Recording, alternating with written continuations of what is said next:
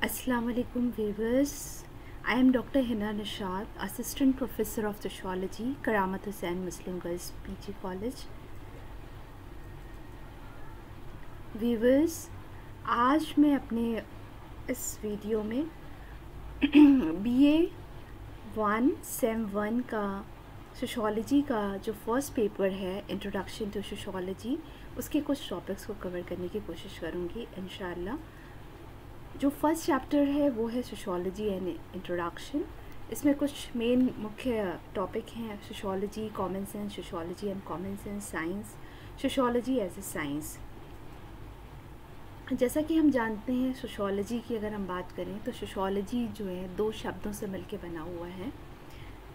जी हाँ सोशोलॉजी जो अस्तित्व में आया, वो 1838 में आया। अगस्त कॉम्ट जो है फादर ऑफ़ सोशोलॉजी कहलाते हैं। इन्होंने एम्फासाइज किया था इस चीज़ के ऊपर कि that is the study of society in a scientific way sociology दो शब्दों से मिलके बना सोशियस सोसाइटस कह सकते हैं, ये लैटिन भाषा से लिया गया है लैंग्वेज से सोसाइटी और दूसरा लोगोस यानी कि ग्रीक भाषा से लिया गया है स्टडी या साइंस समाज का शास्त्र।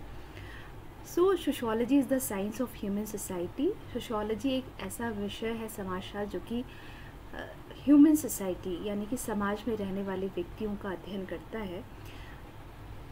लेकिन वो अध्ययन जो है, वो किस तरह का होना चाहिए? साइंटिफिक तरीके से, वैज्ञानिक तरीके से वो अध्ययन होना चाहिए, तभी वो उसका महत्व है।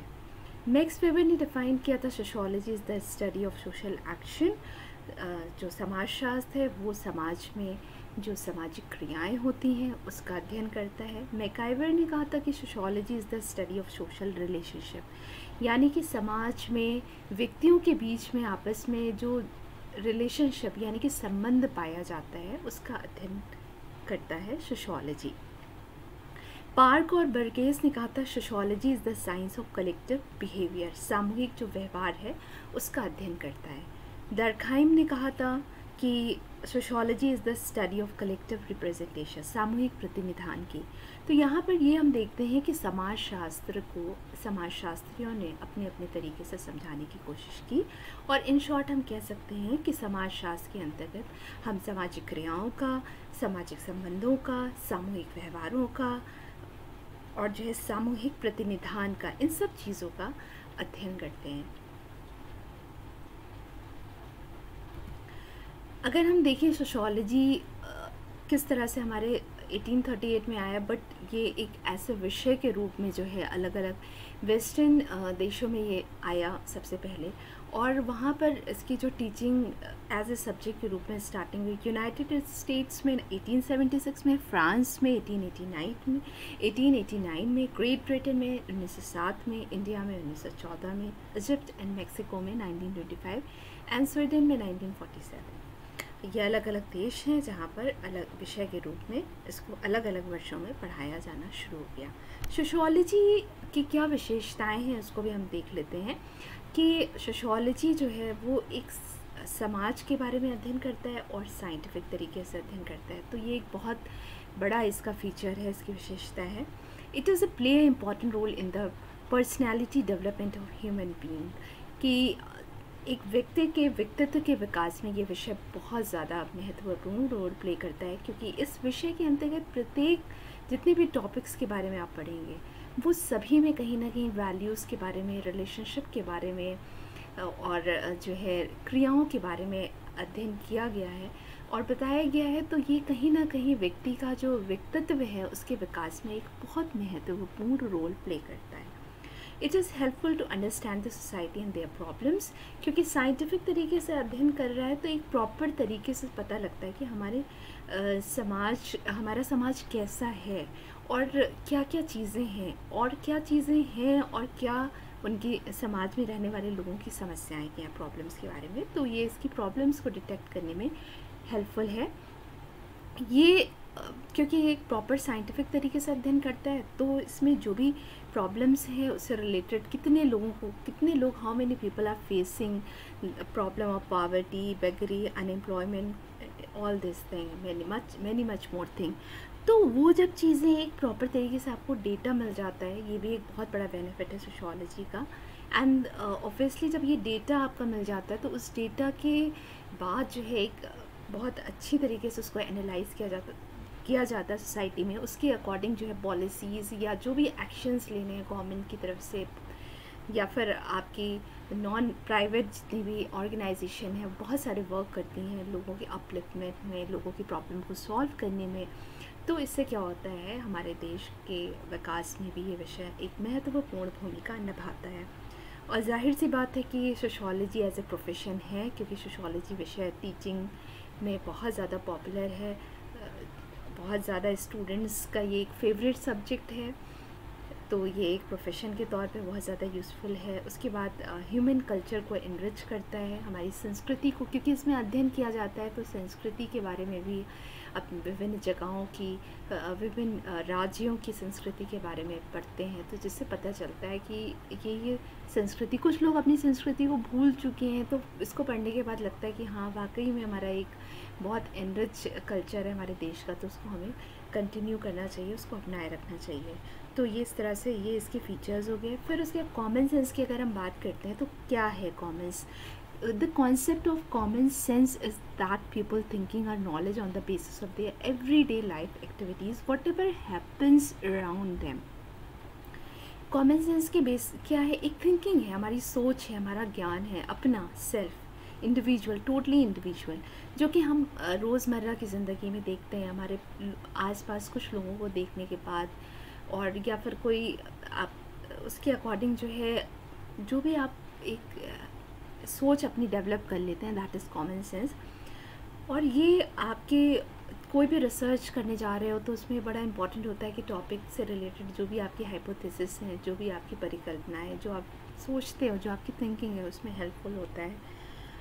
लेकिन ये, बिल्कुल क्योंकि इसमें साइंटिफिक नहीं है, ये नॉन साइंटिफिक फिनोमिना है ऑब्वियसली और क्योंकि ये बेस्ड होता है आपके बिलीव्स पे ट्रेडिशंस पे प्रज्यूसेस यानी कि आपके जो पूर्वाग्रह हैं, और क्या किसी भी चीज़ के पीछे क्या कॉज है इफ़ेक्ट है, उसके रिलेशनशिप को बताने में भी ये असफल है। और इस तरह से जो भी कॉमन सेंस के बेसिस पे जो नॉल जो भी नॉलेज मिलती है, जो ज्ञान प्राप्त होता है, उसको हम जनरलाइज नहीं कर सकते उसका सामान्यकरण नहीं कर सकते हैं।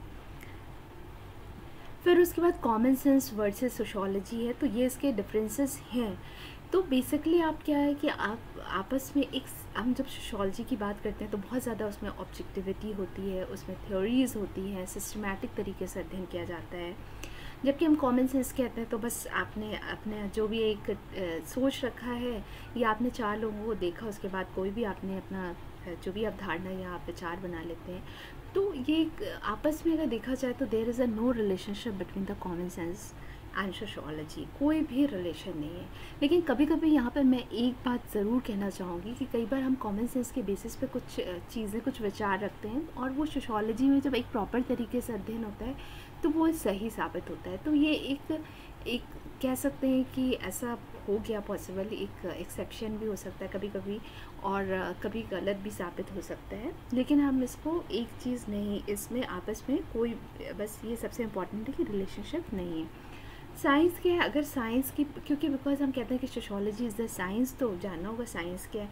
तो नॉर्मली साइंस में क्या होता है? सबसे पहले हमारी कोई भी चीज़, हमारा वर्क होता है स्टार्ट विद ऑब्जर्वेशन कि हम ऑब्ज़र्व करते हैं, फिर उसके बाद एक्सपेरिमेंट्स होते हैं। ज़ाहिर सी बात है, जो भी साइंस अगर हम फिज़िक्स का कर रहे हैं तो फिज़िक्स के लैब में करेंगे केमिस्ट्री है तो केमिस्ट्री केमिकल्स के ऊपर करेंगे। मेडिकल साइंस है तो मेडिसिन से रिलेटेड जो भी एक्सपेरिमेंट्स होते हैं, वो किए जाते हैं। अलग अलग उसके बाद जो भी एक्सपेरिमेंट्स में मिलता है, उसको क्लासीफाइड कर दिया जाता है। और फिर देखा जाता है कि क्या कॉज इफ़ेक्ट रिलेशनशिप है। फिर उन, उसके बेसिस पे और ये जो भी चीज़ें हैं निकलती है, वो सब जगह पाई जाती है। यूनिवर्सलाइजेशन होता है उसका। जनरलाइजेशन भी किया जाता है, क्योंकि अगर कोई भी रिजल्ट्स उसके निकलते हैं तो उसको हम सामान्यकृत करते हैं कि वो चीज़ें एक आम तौर पे कॉमन सी चीज़ होती, सही होती है, और फिर उसके बाद उसकी थ्योरी बनाई जाती है। और इस तरह से जो भी साइंस का एक पूरा प्रोसेस है, उसमें हम, उसके बेसिस पे क्या करते हैं कि आगे हम प्रोडिक्ट भी कर सकते हैं, भविष्यवाणी भी कर सकते हैं। तो ये सारे फीचर्स क्या हैं आपके साइंस के? सोशोलॉजी में देखा जाए तो सोशोलॉजी क्या साइंस है? ये बहुत एक जो है विवाद का विषय रहा है कॉन्ट्राडेक्टरी रहा है कि सोशोलॉजी जो व्यक्तियों का अध्ययन है, व्यक्तियों के बारे में तो क्या इसे हम विज्ञान की श्रेणी में रखेंगे या नहीं रखेंगे? तो यहाँ पर आप कंपेयर कर लेते हैं, हम जल्दी से कि ऑब्जर्वेशन होता है साइंस में। अच्छा सोशोलॉजी में भी अगर हम सोशल रिसर्च करते हैं तो वहाँ पर भी हम ऑब्ज़र्व करते हैं, चीज़ों को देखते हैं। बहुत इंपॉर्टेंट है। ये बात अलग है कि हम अपनी सोसाइटी के प्रत्येक व्यक्ति को नहीं, लेकिन जितना, जितने लोगों पे हम एक तरह से एक्सपेरिमेंट कर रहे हैं रिसर्च कर रहे हैं, उन सबको हम ऑब्ज़र्व करते हैं। एक्सपेरिमेंट होता है साइंस में तो सोशोलॉजी में भी एक टाइप होता है एक्सपेरिमेंटल रिसर्च का, जिसमें हम एक्सपेरिमेंट करके देखते हैं। और उसके कई स्टेप्स हैं टाइम टेकिंग बट ये होता है सोशोलॉजी में भी। और इसके बाद जो रिसर्चर्स होते हैं, उसके बेसिस पे किसी भी चीज़ क्यों हो रही है, उसके क्या कॉजेज़ हैं और इसके क्या इफ़ेक्ट्स हो सकते हैं, वो सब रिलेशनशिप सोशोलॉजी में साइंस में तो होता ही होता है। और जो है, अब उसके बाद जो नियम होते हैं विज्ञान के, वो सब जगह पाए जाते हैं कि अगर जैसे वाटर है एच टू है एच टू ओ से मिलता है तो ऐसा नहीं कि इंडिया में वाटर जो है का फॉर्मूला एच टू है और अमेरिका में कुछ और फार्मूला है। तो सोशोलॉजी में भी अगर हम कहते हैं कि फैमिली इंडिया में फैमिली पाई जाती है तो ऑब्वियसली अमेरिका में भी और ट्राइब्स में भी हर जगह परिवार पाए जाते हैं। तो यानी कि यूनिवर्सलाइजेशन है यहाँ सार्वभौमिकीकरण है। जो भी हम सोशल साइंस की रिसर्च करते हैं उसको हम जनरलाइज भी कर सकते हैं। जैसे साइंस में आ, हम कह सकते हैं कि हाँ इस तरह से अगर आप सत्य की बात करते हैं ट्रुथ की बात करते हैं अगर हम ईमानदारी की बात करते हैं, अगर हम एफ़र्ट्स की बात करते हैं, मेहनत की बात करते हैं, ये सारे सिद्धांतों की हम बात कर रहे हैं। तो ये सिद्धांत ऐसा नहीं है कि इंडिया में लागू होगा और अमेरिका में लागू नहीं होगा। Obviously the same principle will be applied in every place so यहाँ पर भी हम कर सकते हैं जनरलाइज थ्योरीज़ बहुत ज़्यादा थ्योरीज़ बनी है सोशल साइंसेस में, जैसे कि आप देख लीजिए, संस्कृतिकरण या फिर पश्चिमीकरण, बहुत कॉमन से सार्वभौमिकीकरण, स्थानीयकरण, बहुत छोटी छोटी थ्योरीज़ हैं जो रिसर्च के बाद बनी है। तो फिर हम यहाँ पर ये देखते हैं कि जो भी थ्योरीज़ हैं या जो रिसर्चर्स होते हैं, उसके बेसिस में हम भविष्यवाणी भी कर सकते हैं। तो सोशोलॉजी में बहुत सारे साइंस के फीचर्स मिल रहे हैं, इस वजह से हम कह सकते हैं कि सोशोलॉजी भी विज्ञान है।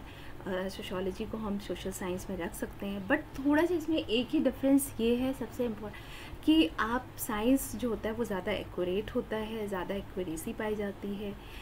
ज़्यादा क्योंकि वो वस्तुओं पे हो रहा है तो चीज़ें उसमें डिफ़र कम करती है। बट सोशल साइंस का जो रिसर्च है वो व्यक्तियों के ऊपर हो रहा है। तो व्यक्ति जो होते हैं वो उनमें विचार होते हैं, भावनाएँ होती हैं। तो वो हम बहुत ज़्यादा स्टेबल बहुत ज़्यादा एक्यूरेसी नहीं पाई जा सकती है। तो ये एक बहुत मेन डिफरेंस हम कह सकते हैं कि sociology is a science but social science actually में समाज का विज्ञान है। तो मुझे लगता है कि आज के में इस टॉपिक में आपने काफ़ी अच्छे से समझा होगा। नेक्स्ट वीडियो में इस और भी टॉपिक्स को कवर करेंगे और इस तरह इसके क्वेश्चंस और अपनी राइटिंग प्रैक्टिस और अंडरस्टैंडिंग दोनों चीज़ों को आप सब लोग ज़रूर इम्प्रूव करें।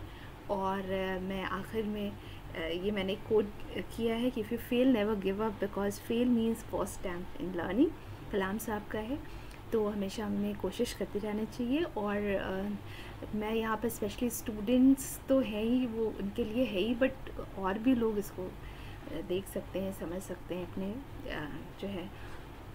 तो इस दुआ के साथ कि हम सबको अल्लाह ताला कामयाबी और खुशी अदा करें। आमीन। Okay thank you thank you so much